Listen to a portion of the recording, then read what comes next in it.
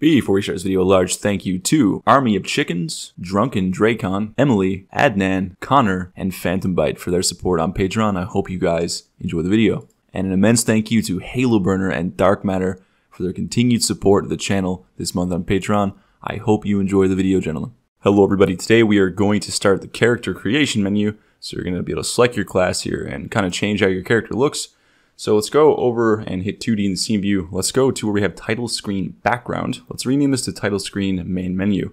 I'm doing this because we have title screen load menu, and now we're going to have title screen uh, character creation menu. So right click under title screen canvas, create a new empty game object, call it title screen character creation menu or whatever name makes the most sense for you to know what this is. So it stands out. It's very nice and clean. You can easily see what it is at first glance. Let's make it uh, basically the size of the screen by holding Alt and stretching it out. Make sure it sits below the main menu on the hierarchy. Copy the image on the main menu and then paste it as a new component on the character creation menu. So now it should cover up your main menu like so.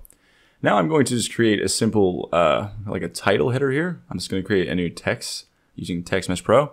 And this is just going to be character creation. So when we open up this menu, it just is a little obvious uh, where we're at. I'm not going to spend a lot of time making this pretty, um, but I will just put some loose titles and some organization here so it isn't so unsightly.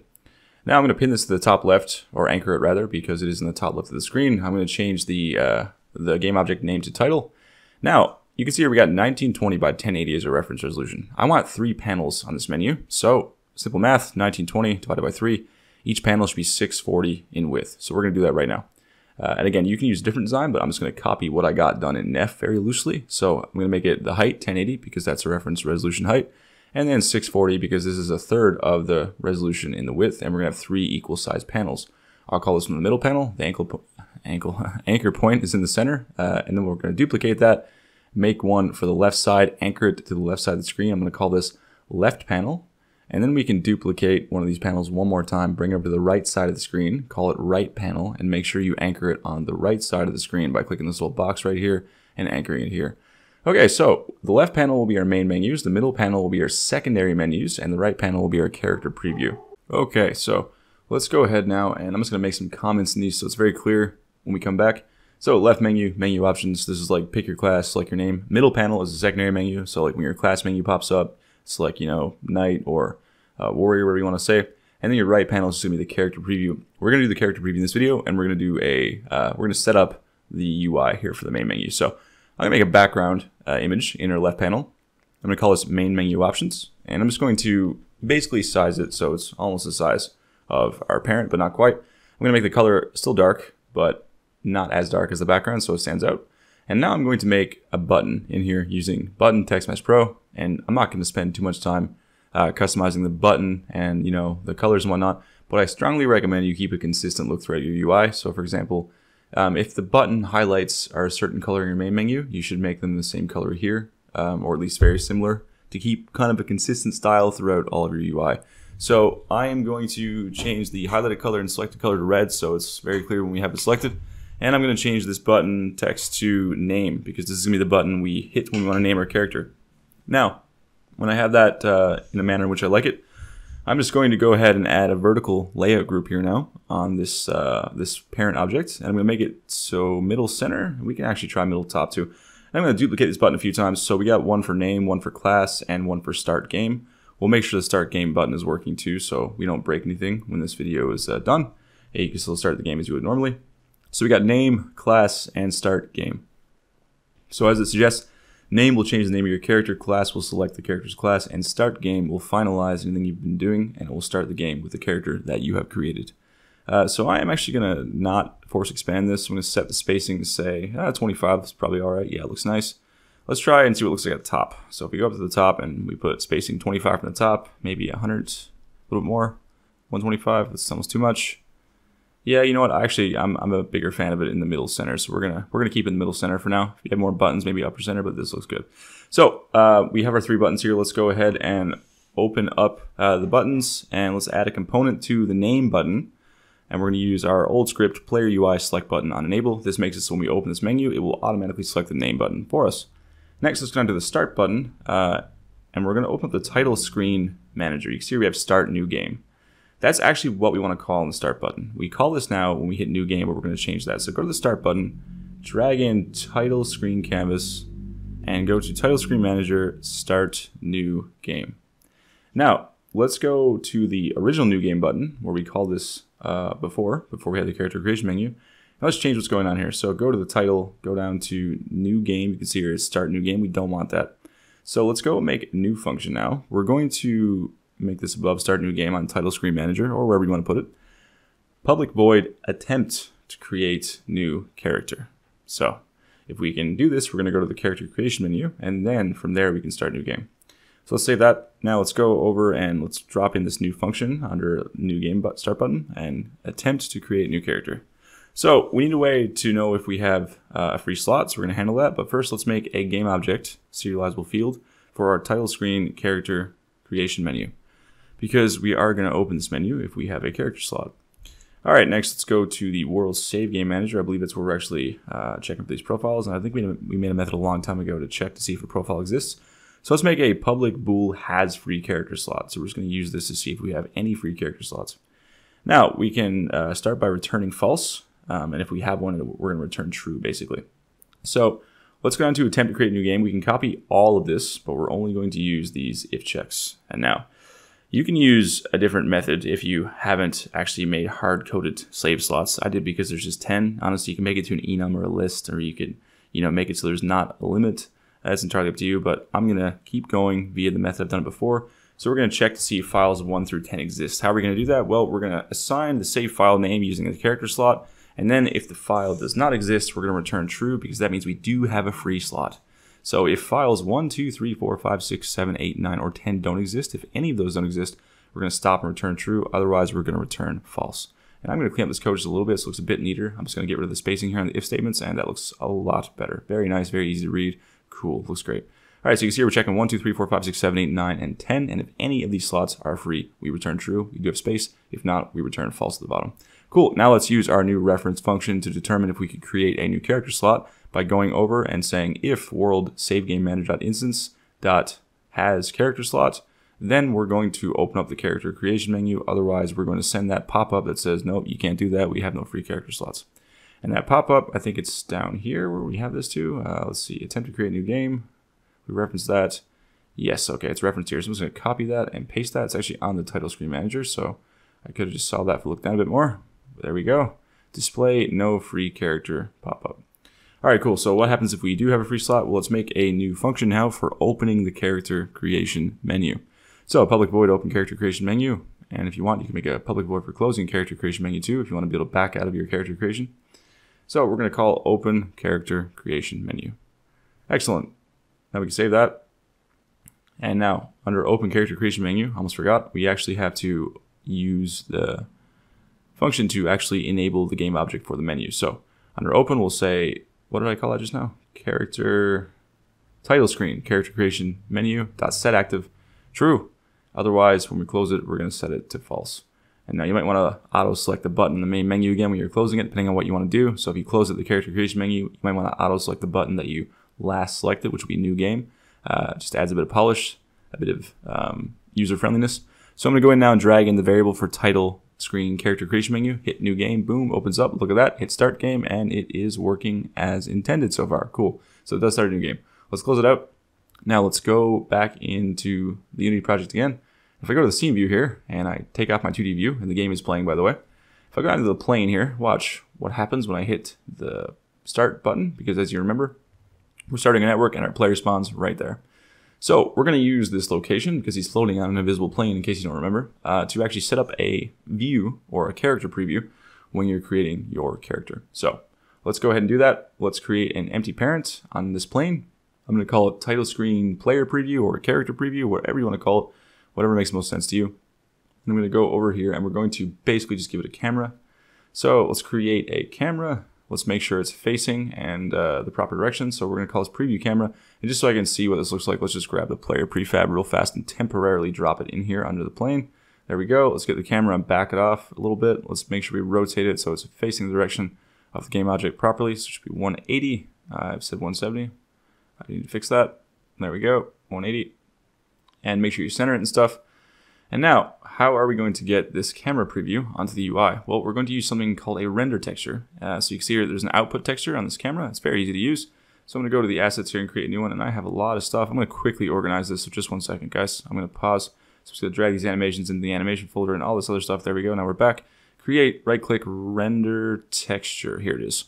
So create this and then call it whatever you want. So going to know what it is. I'm going to call it player preview render texture. And I am going to just look at Nephilim uh, because I have some settings here. I'm going to take dynamic scaling and I am going to change it to two samples for anti-aliasing.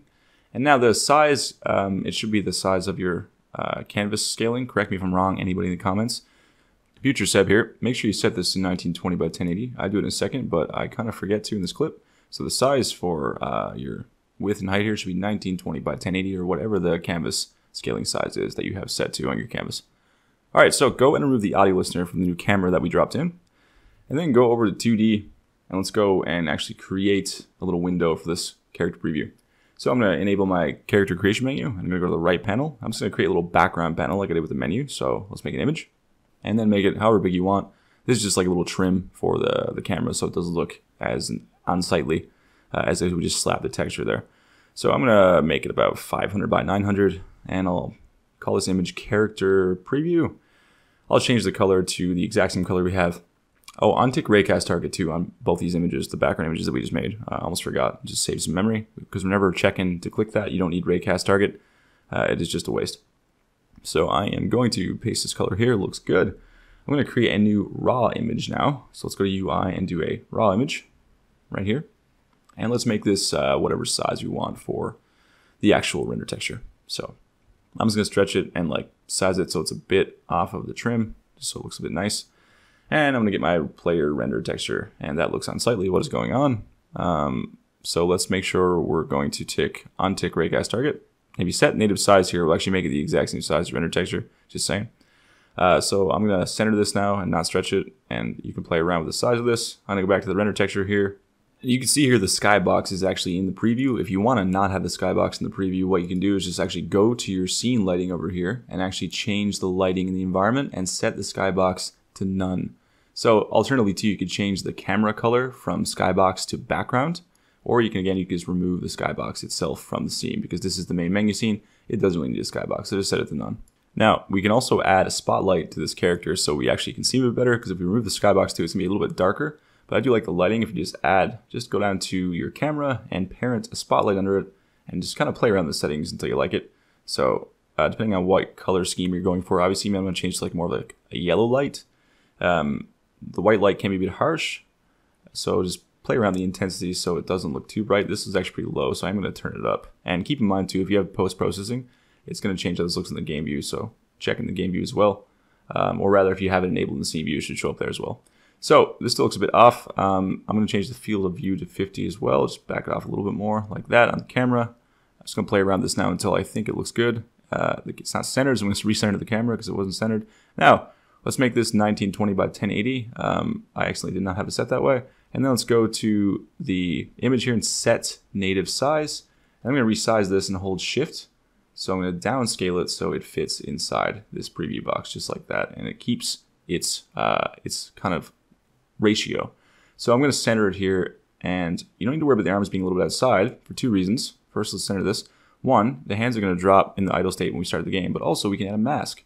So if we go to the character preview here now and add a mask, you can see anything outside of the bounds, so this is a rect mask, 2D, anything outside of this frame now is cut off. And you can also fade it out with softness here, so you can see instead of just cutting off abruptly, it'll start fading the edges, and that looks really nice.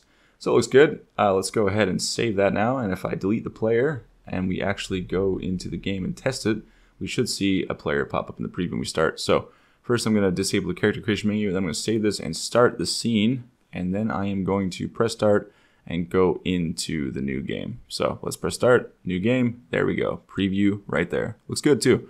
Lighting looks nice, not too harsh, I'm a fan. All right, let's make this guy um, capable of rotation so we can actually spin him around and preview what he looks like.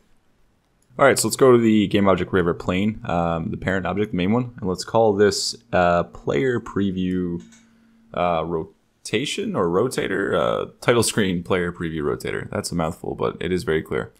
So on the title screen player preview game object, I'm adding a script. Let's delete start and update functionality as is per tradition. And then I'm going to reference our player controls. Uh, it's like our input, same thing we use to control our player in game. And we're going to do the same thing here we did with our input manager. We're going to use an on enable, uh, on enable and on disable. And we're going to say if player controls equals null, player controls is equal to new player controls. And then we are going to set up the player controls here by saying player controls dot enable. And we're going to actually set up uh, the player controls inputs here by referencing the player camera. And then I believe it's called movement. Yes, it's called movement dot performed uh, plus equals i equals greater than this weird syntax here. And we're going to reference this with a vector2 variable. So basically, we're going to take our camera movement every time we perform it. We're going to feed the values of the input back to this variable, the vector2, because we're moving it with the joystick. That's up, down, left, and right. And it's going to feed back to this vector2 variable. That's up, down, left, and right. So very simple. Now we're only to use the left and right portion of this variable because we're just going to rotate this uh, left to right. So let's make a private float look angle. And uh, let's make an on disable first and actually disable these controls if we disable the, the object. So player controls. Now on update, we're going to do a couple things here. Um, need to make a couple new variables actually as well. We're going to add um, private float horizontal input. So this is basically just going to register when we have some input, or we're moving the joystick on the horizontal axis. So we're going to say horizontal input is equal to the camera input.x. So we're taking one axis of that vector 2, and then we're assigning that to our horizontal input. So whenever you're moving back and forth, left and right, it will change the value of the float horizontal input. Then we're going to say look angle is plus equal to our horizontal input times, let's make a private float rotation speed. So basically, we're taking the input of our uh, joystick on the x-axis, and then we're moving the look angle, that's the rotation angle of this little uh, plane, by how much we're moving our joystick times our rotation speed. Then we're going to say vector 3 camera rotation is equal to vector 3.0. dot 0. Then we're going to say camera rotation dot y is equal to look angle. Next, we're going to say quaternion target rotation is equal to quaternion dot Euler then we're going to pass the camera rotation. And then we're to come out and say transform dot rotation is equal to target rotation. And that's it. So let's save that now. We can give it a, a whirl. I think rotation speed 5 is going to be way too low. So let's actually serialize these variables if you want to see them. Serialize the rotation speed for sure so you can change it. If you want to see the horizontal input, the look angle, um, and the camera input, serialize those as well, although you don't need them. I will make a header for camera input, and then I'll make another header here for rotation so camera input can be camera input and horizontal input. And then we can say header rotation. That will be our look angle and our rotation speed. Let's save that. I'm to go into the game here now. Change rotation speed to say about 25 should be okay maybe. Uh, let's just try it out and see. Press start, new game. That's still pretty slow. Works though, looks good. So let's say rotation speed. Let's try 150. Uh, 150 feels very nice. Okay, cool. Well, there you go, guys. You have a very good start on this character creation menu. So in the next video, we're going to set up uh, so we can name our character and then we're going to set up so we can actually choose a class. So for classes, we're going to make basically a set of predetermined classes, and depending on which class you pick, it will change your gear, uh, your weapon, and your stats. So I highly encourage you right now, with the knowledge you've been armed with in this series and the experience you've gathered up to this point, to go ahead and attempt to implement two classes on your own. Make it so when you select the class button, you open a secondary menu. And from there, you can select however many classes you want to implement. And when you select that class, make it change the gear and the stats on your character, and also the weapons if you want. Now, we don't have stats yet in the game, outside of vitality and stamina and such, but you can add those in yourself as well. So again, I highly encourage you go ahead and give that a shot. I know you are 100% capable of doing that if you've made it this far in the series. It's a great learning experience. And uh, if you get it messed up or you don't know what to do and you get stuck, I'm just going to do it next week anyway, so it's totally fine. As always, guys, thank you very much for tuning in. A special thank you to my patrons. It is because of each and every one of you we get to keep doing this, and the series is still alive. So for that, you have my thanks. I will see you guys next week.